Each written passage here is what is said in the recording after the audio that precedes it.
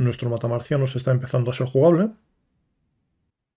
En esta entrega vamos a hacer buena parte de los pequeños detalles que faltan para que realmente sea bastante jugable. Todavía no será perfecto, pero sí que la partida como tal tendrá un poco más de sentido. Por una parte vamos a añadir la posibilidad de obtener puntos cuando eliminamos enemigos. Además vamos a añadir tres vidas, de forma que si nos impacta un disparo enemigo, perdamos una vida pero la partida prosiga. Y de paso vamos a añadir animaciones. Todo ello son cosas que ya hemos hecho antes y que apenas vamos a mejorar un poco, con lo cual iremos más o menos rápido.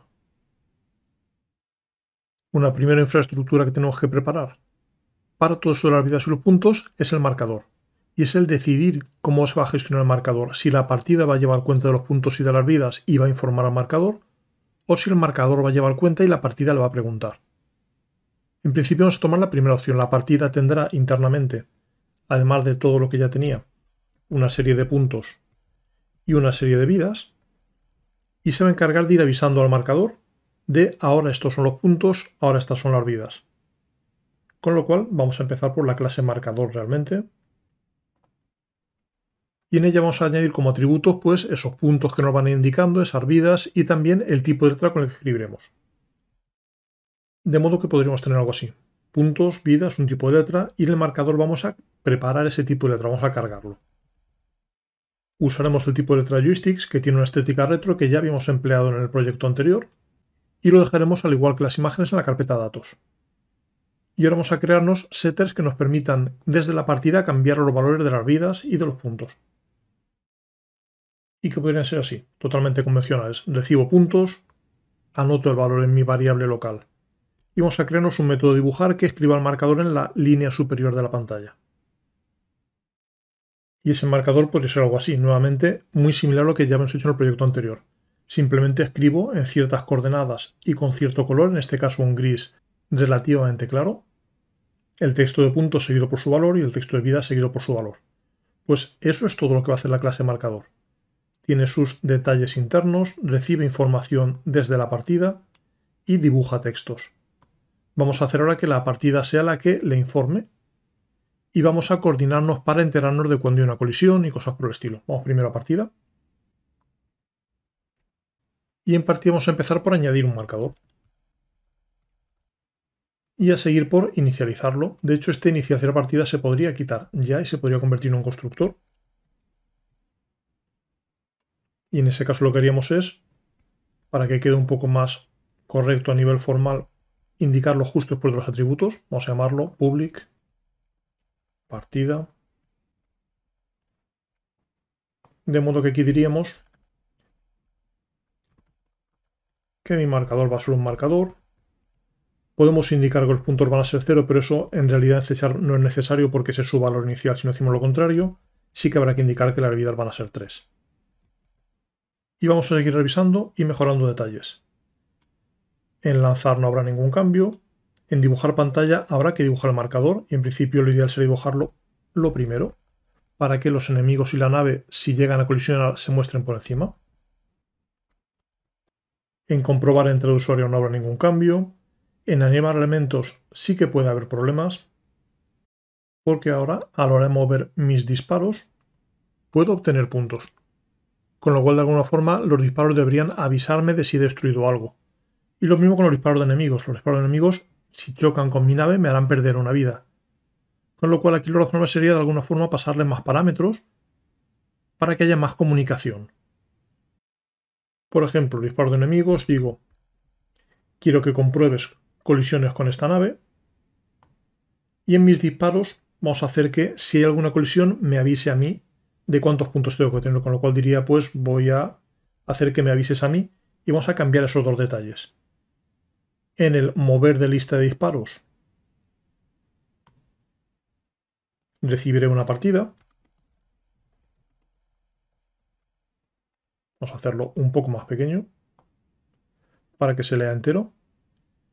Y lo que haré es que si hay una colisión, no solo desactivo el disparo, sino que además avisaré a la partida de que hay una cierta cantidad de puntos extra.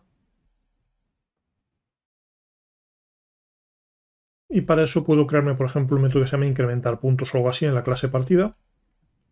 Y de momento voy a suponer que todos los enemigos valen 10 puntos, por ejemplo. Con lo cual la idea sería algo parecido a esto. Si el bloque de enemigos colisiona con mi disparo, desactivo el disparo y a la partida, a esta partida que me he indicado, le aviso de que hay que incrementar puntos. Con lo con la clase partida le digo mueve estos enemigos y me tienes que avisar a mí en caso de que haya que incrementar puntos y voy a crear incrementar puntos al final del todo. Digo quiero aquí un public void incrementar puntos que lo que haga es mis puntos incrementarlos en ese valor. Y ya que estamos, podría decirle al marcador que ha cambiado la cantidad de puntos que debe mostrar. Aquí tenemos un algo arriesgado porque estoy usando dos veces la palabra puntos. Y los puntos que quiero mostrar son los puntos de la partida, no los puntos, los 10 que he obtenido solo por este enemigo, sino el total de puntos que llevo hasta ahora y que acabo de incrementar. Si aquí olvido este dis, parecerá que siempre tengo 10 puntos durante la partida. Nos marca en rojo que seguimos teniendo un detalle en mover que no hemos afinado, que es el cuando se mueven mis enemigos hay que comprobar colisiones con esa nave. Pues vamos a los disparos de enemigos. Pero estoy pensando que realmente aquí no eh, nos haría falta no en el mover sino en el colisionar. Volvemos. Aquí no me hace falta la nave. En comprobar esto de juego, aquí sí. Aquí teníamos que la partida terminaba si había una colisión de los enemigos con mi nave o de los disparos de enemigos con mi nave. Vamos a hacer que no termine la partida, sino que perdamos una vida. Con lo cual me creo una nueva función adicional.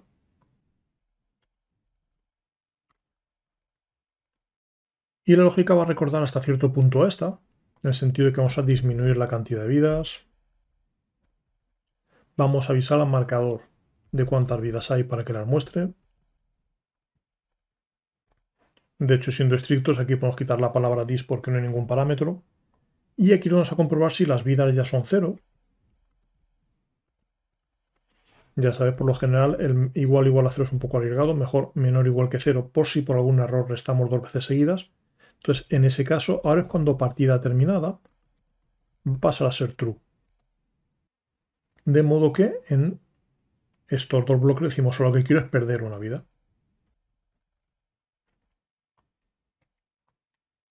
Siendo estrictos, para que esto sea más jugable nos interesaría un cambio más, que es que a la hora de perder vidas no solo perdamos la vida como tal, sino que además eliminemos los restos de disparos que estén cayendo, no sea que me impacten dos disparos seguidos, e incluso coloquemos la nave en su situación inicial.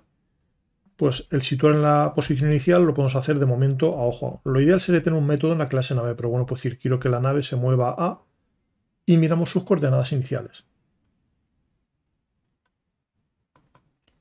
En jugador teníamos que empezaban las coordenadas 640-600. Pues digo, muévete a 640-600. Insisto, sería más elegante un método reiniciar en la nave o alguna cosa así. Y voy a vaciar la lista de disparos. Pues digo, esos disparos de los enemigos que estaban cayendo hacia mí. Tenemos un método clear para vaciar la lista, pero vamos a aquí llamar a un tal vaciar y a crear ese clear. Por eso de que aquí no tenemos detalles de que internamente sea una lista o un array o lo que sea. Con lo cual, lista de disparos. Digo aquí, quiero un public void vaciar. Que lo que va a hacer es esa lista que he llamado disparos. Borrarla ahora y así con la orden clear. Algo no le gusta aquí arriba, vamos a comprobar el qué. Me dice que esto ahora ya no es override porque en la clase lista enemigos cambian los parámetros, con lo cual de aquí elimino el override. Y con eso ya deberíamos tener los puntos y las vidas. Repasamos rápidamente la clase marcador que se encarga de poco más que mostrarlo. Y la partida que los prepara, los inicializa, dibuja el marcador. Al mover disparos prepara para que me avise en caso de que debo recibir puntos y está ese nuevo método de incrementar puntos. Y a la hora de comprobar colisiones, se encarga de que pueda perder vidas, recolocando naves, recolocando disparos y quizás terminando la partida. Vamos a probarlo y si todo va bien pasamos a ver las animaciones. Tenemos puntos, tenemos vidas. Centramos un poco la pantalla. He perdido una vida, perfecto. Y si voy destruyendo enemigos, voy obteniendo puntos. La apariencia es buena. Una vida. Partida terminada. Perfecto. Pues las animaciones también sabemos hacerlas. Tenemos en la clase Sprite preparado un método cargar secuencia, un método cambiar dirección, un método siguiente fotograma. Vamos a aplicarlo al enemigo y luego lo mejoraremos un poco con un cambio que ya habíamos adelantado en el proyecto anterior. Por ejemplo, yo puedo, aunque parta de esa imagen, decir ahora quiero cargar una secuencia con dos imágenes distintas en una dirección arbitraria, por ejemplo la derecha, y cambiamos esa dirección. Y en el método mover nos bastaría con decir después de moverte pasa al siguiente fotograma. Pero si lo probamos veremos que va demasiado rápido. Con eso de que el juego va a 50 fotogramas van a cambiar de imagen 50 veces por segundo. Ahí lo tenemos, es un cambio tan rápido que casi ni se aprecia. Nos interesa llevar una cuenta de cuántos fotogramas nos quedan y al cabo de X fotogramas cambiar esa imagen visible. Y eso directamente lo podemos hacer en la clase Sprite, llevar cambios de los que ya habíamos propuesto en el juego anterior. Por ejemplo, podría tomar como valor inicial que quiero 10 frames de juego para cada cambio de fotograma visible y llevar ese contador de cuántos fotogramas me quedan hasta tener que pasar esos 10 y cambiar la imagen visible. En el constructor le damos el valor inicial. En siguiente fotograma no permitimos cambiar hasta que haya pasado esa cantidad de frames.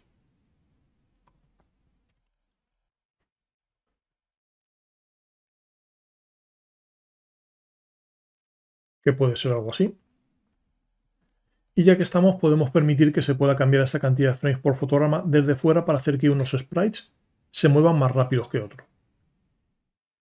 Y para eso simplemente añadimos un nuevo setter al final de la clase sprite, de modo que ya nuestro enemigo podemos decirle quiero que además tus frames por fotograma usando el setter o desde aquí directamente cambiando el valor, queremos que sea por ejemplo de 10 o de 12 o de lo que queramos y así se moverá bastante más despacio, será mucho más visible ese efecto. Lo volvemos a probar. Y ahora sí, la animación de los enemigos es mucho más razonable. Y de la misma forma podemos añadir la misma animación a nuestra nave. En la clase jugador añadimos la carga de la secuencia y el elegir una dirección. Y podemos aprovechar de paso para que se mueva algo más despacio esa animación que la del enemigo y ahora cuando se mueve derecha e izquierda es cuando forzamos ese cambio de fotograma. De modo que si la nave está estática no va a cambiar su apariencia y solo cuando se mueva es cuando va a cambiar y aún así lo hará más despacio que la imagen de los enemigos. Vamos a comprobarlo. Aquí tenemos, si yo muevo la nave, cambia la línea inferior, pero si la nave está quieta, no cambia nada. Pues ahora sí, el juego va siendo mucho más jugable. Nos faltan detalles pequeños como por ejemplo un cambio de nivel cuando elimina a todos los enemigos. Nos falta una explosión para que quede más vistoso. Y en la próxima entrega añadiremos también pantallas de bienvenida, de créditos, otras cosas que también hemos hecho antes y que aplicaremos a este juego y nos lo dejaremos ya supuestamente terminado.